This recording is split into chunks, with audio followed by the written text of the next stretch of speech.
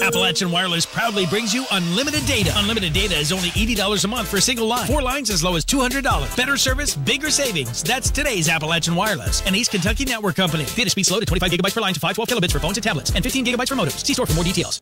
Everything was quiet Saturday afternoon in Johnson County until gunshots rang out in the Flat Gap community just before 4 p.m. and 911 dispatchers received a disturbing call. That they'd talked to a 19 year old and said that uh, he had witnessed his father shoot one of his grandparents. Sheriff Price, his deputies, and Kentucky State Troopers responded to the McKenzie Branch home of Wayne and Arlene Nickel and found them both deceased in their kitchen. And thanks to the help of the 19 year old who called 911, officers identified the man responsible.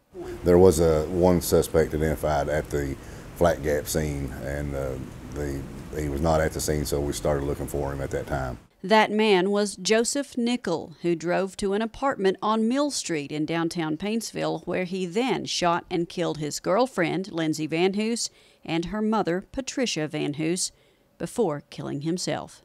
Uh, Paintsville PD, Johnson County Sheriff's Office made entry, uh, found the victims, and also the perpetrator was deceased at the scene.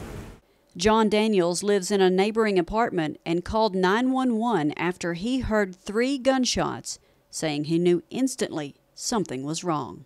Uh, it was two, and then um, maybe a minute, minute and a half in between, and then I then I heard the other one. Um, then the police were arrived on scene. It was, yeah, it was pretty loud. It was pretty loud. And to be in city limits, you don't hear that. I knew it was something something bad. I felt it.